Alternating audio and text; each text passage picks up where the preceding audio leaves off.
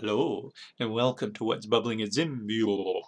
I'm inventor Dan Zen, and in this bubbling we are proud to present TypeScript for Zim. So let's go take a look at the Zim site now at zimjs.com, and we'll go into the code section, see what all this is about. Scroll down past the template, past the help, past the tools, oh, in the tools, there it is right there. So we've got Atom, which is our editor of choice, and then TypeScript. And I'm going to show you TypeScript in Atom. It's probably easier to describe TypeScript when we're actually looking at it. So let's just go into some code now.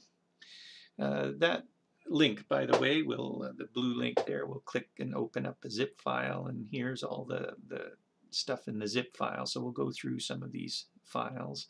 One of them is the Zim HTML file, which is our start. We're going to show you the template, but using this thing called TypeScript. And as we go, we'll describe what, what that is. So we're bringing in create.js, and we're bringing in Zim, but then we call a Zim.js file. So we don't have the rest of the the rest of the, the Zim code here. We're just calling a remote uh, JavaScript file. We don't even edit that remote JavaScript file. Instead, we're going to remote edit a zim.ts file. So here's the zim.ts file right here. And this is a TypeScript file. So what that does is it gives us the types of everything. You see how it says the scaling is going to be a string, and there's a string. If I try and put a number in there, 44, it gives me an error saying 44 is not assignable to a string.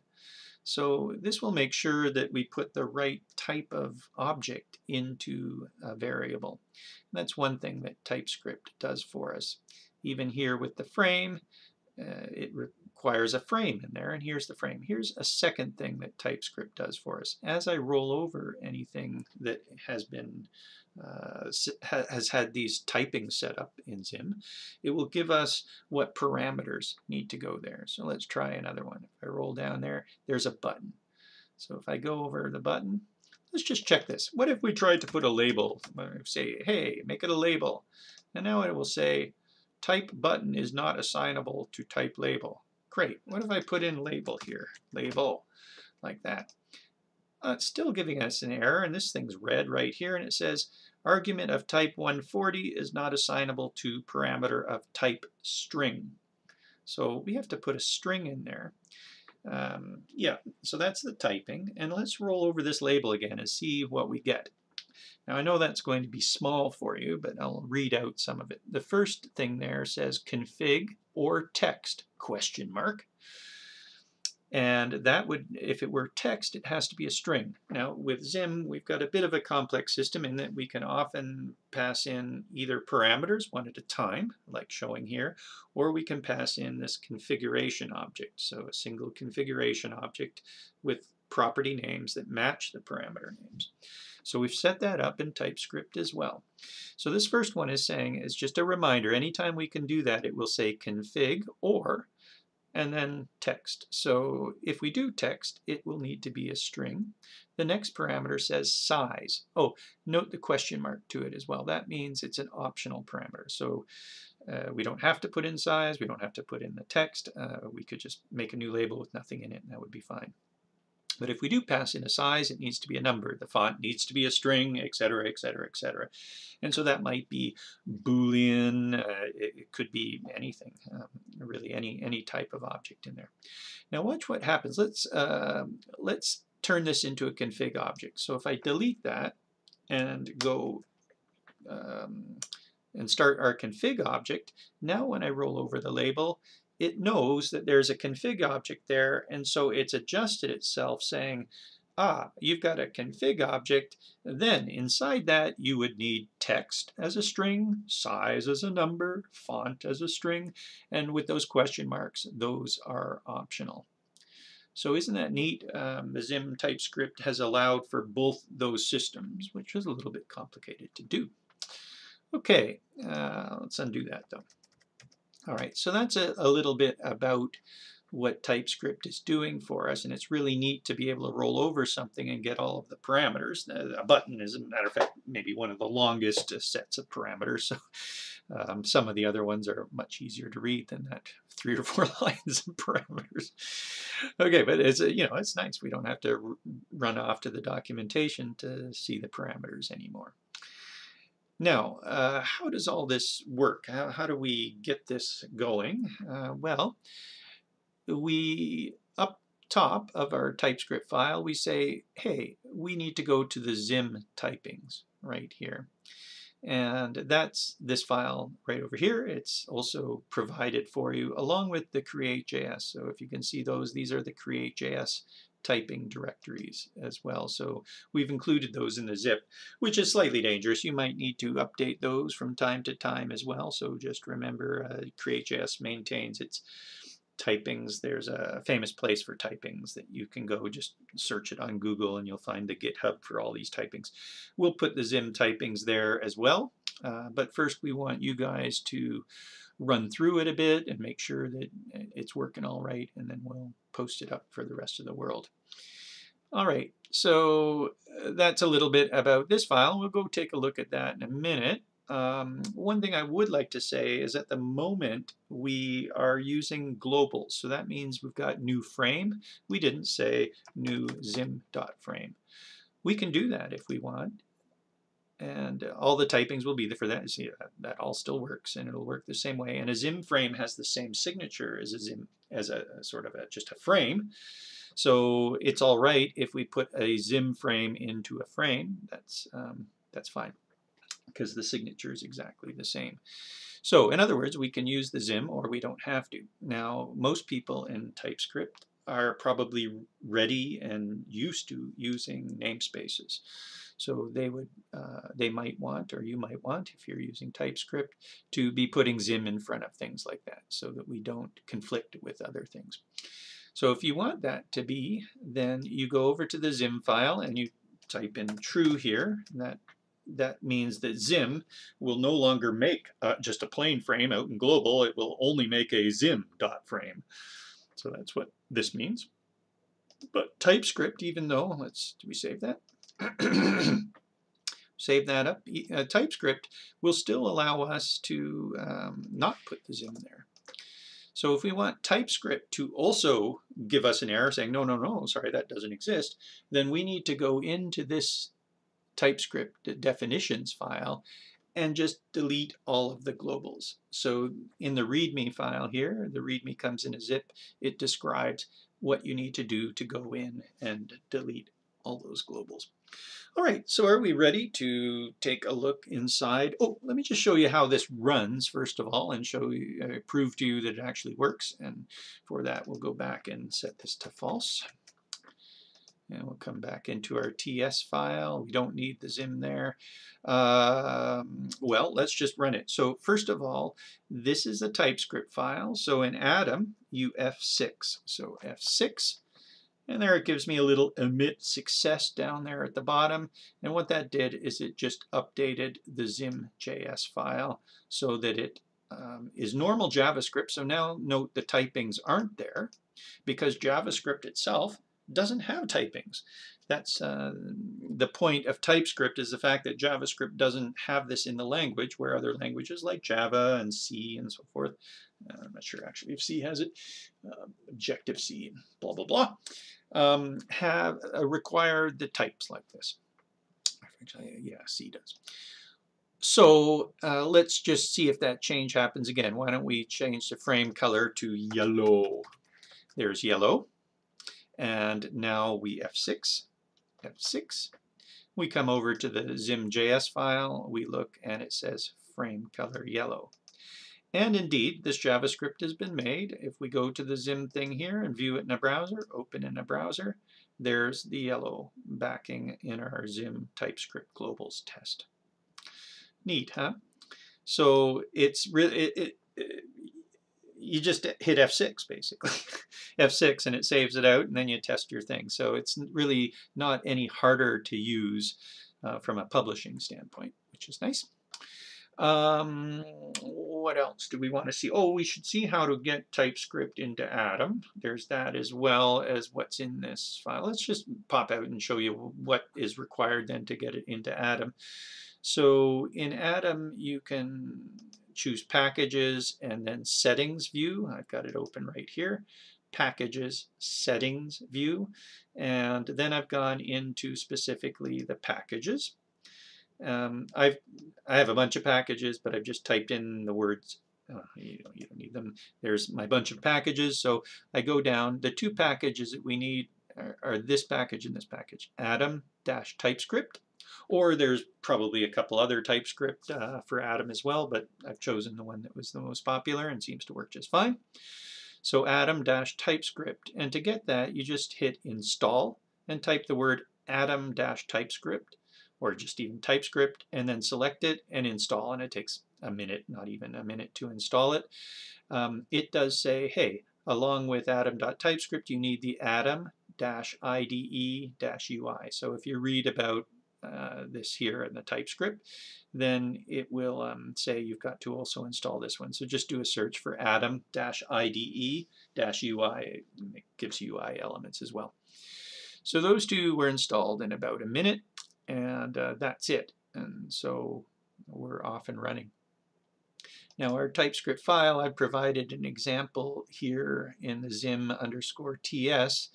There also needs to be a TypeScript config file that says uh, what target do you want. So we're, we're targeting uh, ECMAScript 5, so JS5 instead of JS6.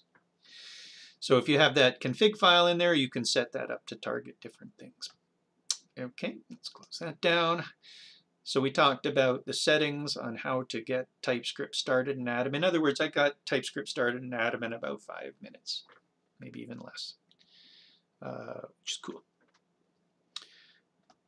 Okay, and there's stuff about that in the README as well, most likely. Uh, all right, let's take a look at the TypeScript file that we've made. That's found in a Zim folder here, along with the Create.js TypeScripts as well uh, are in there.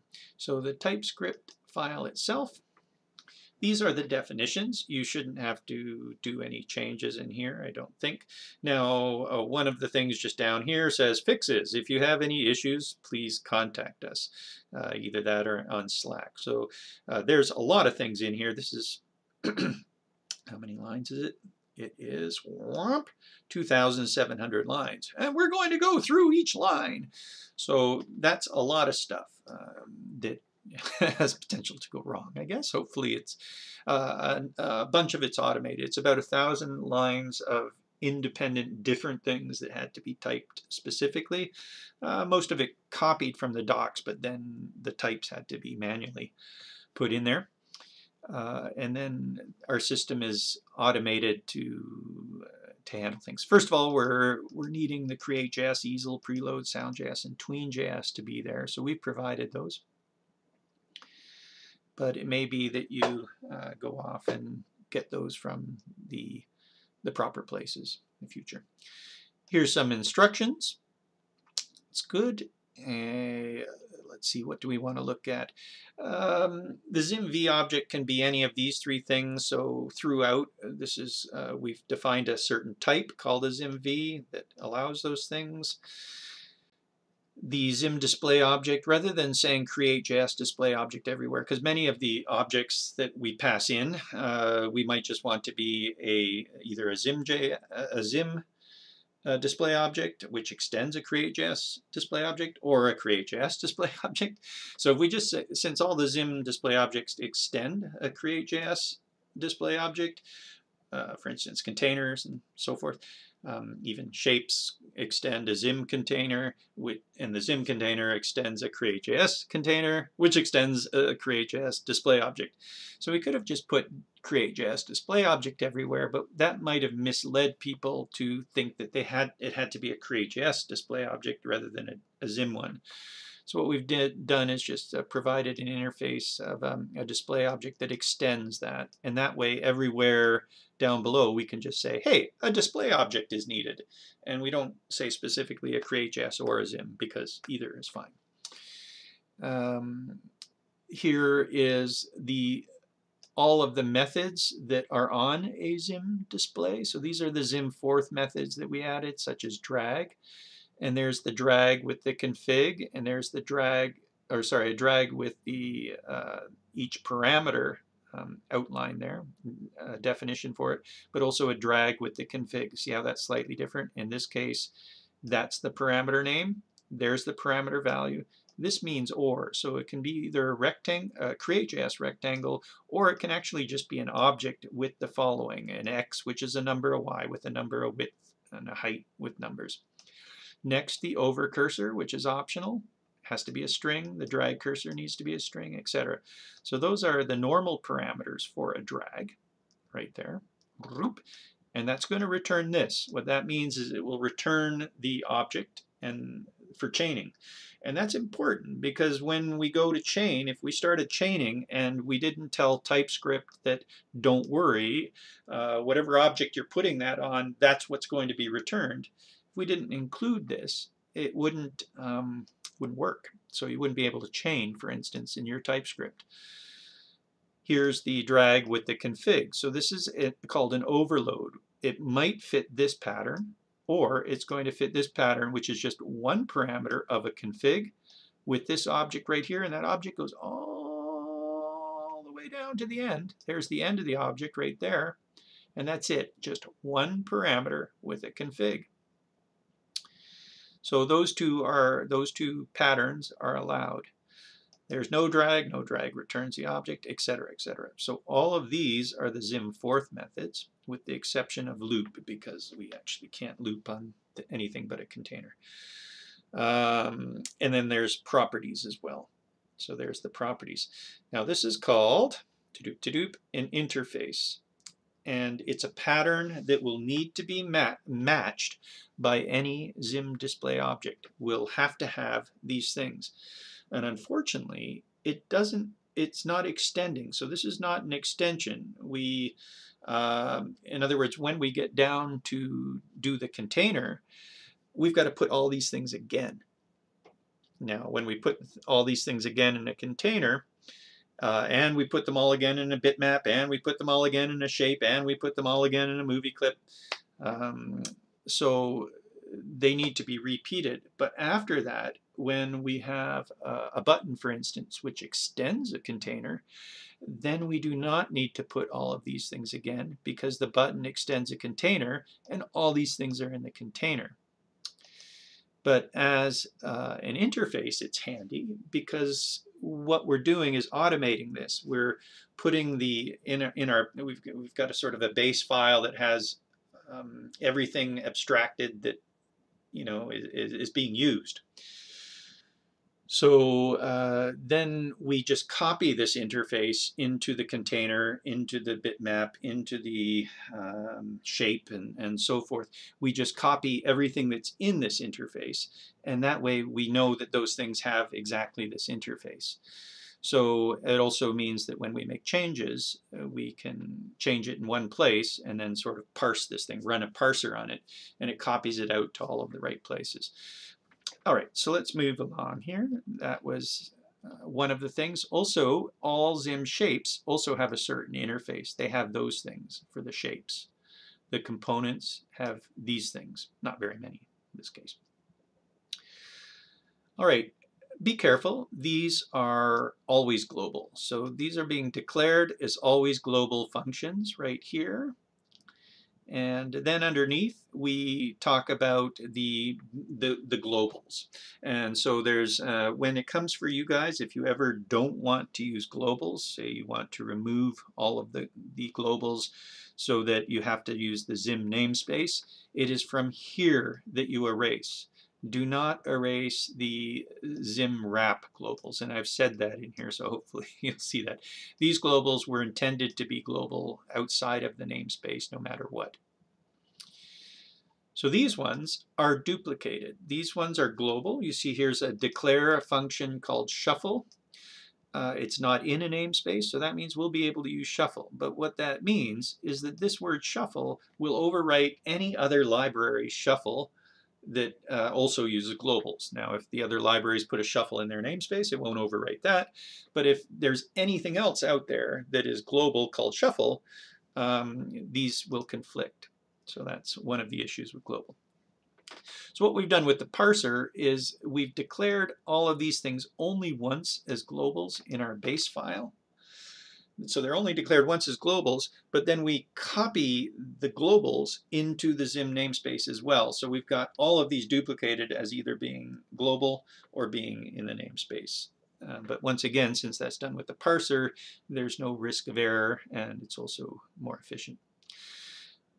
All right, so there's us declaring all of the things that go into the general functions. Here's the display.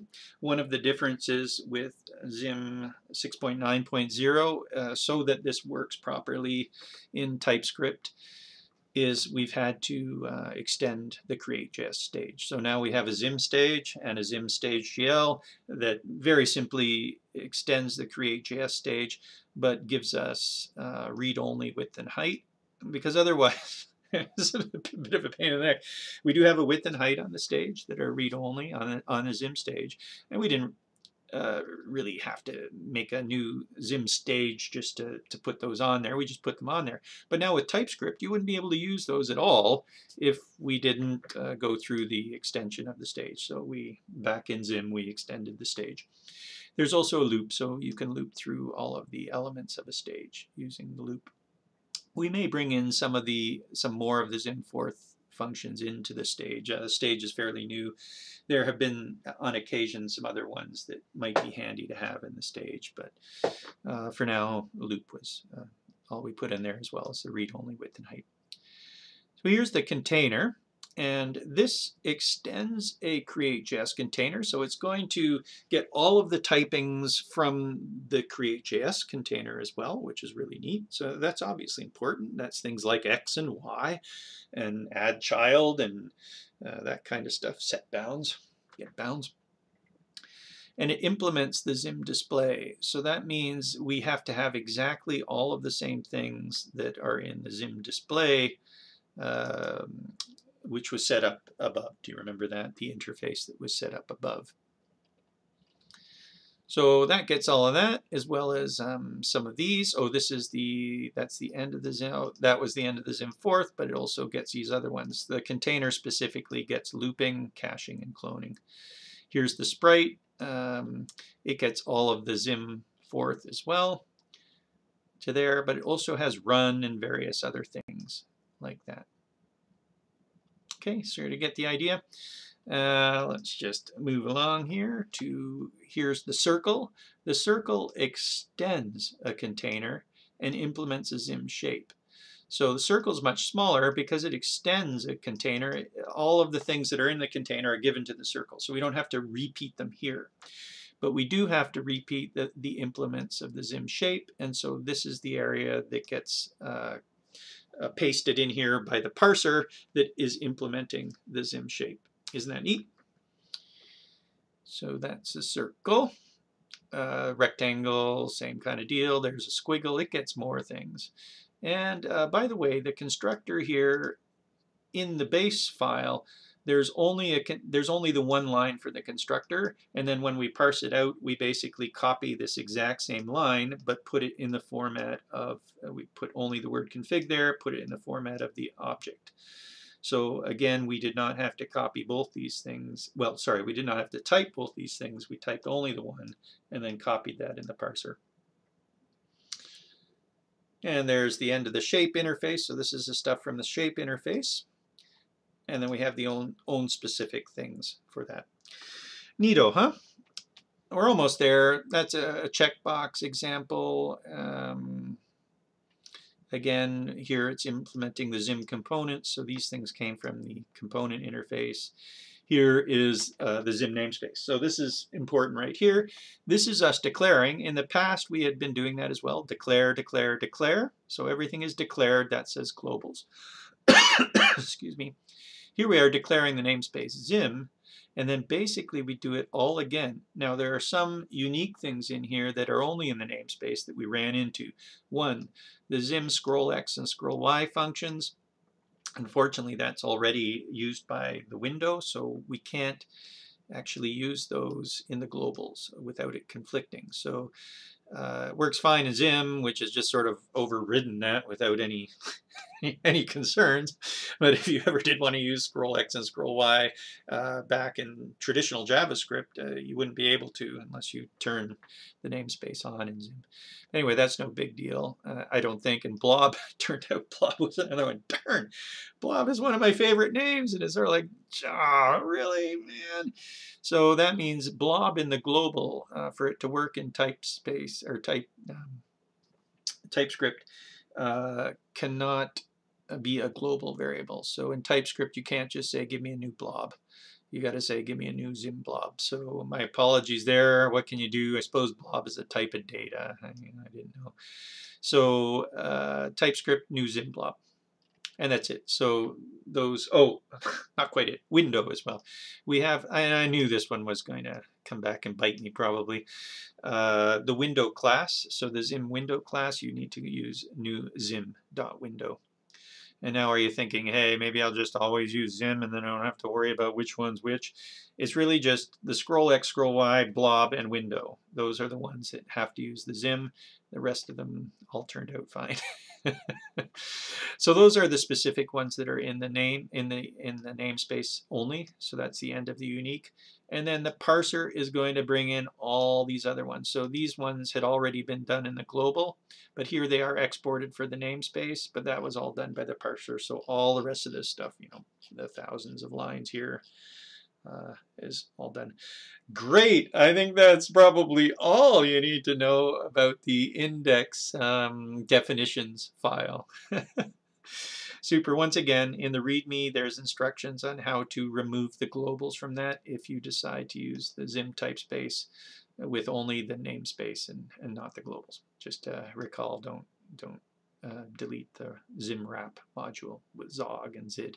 Those ones are so unique that you know it's not going to run into any problems there, I'm sure.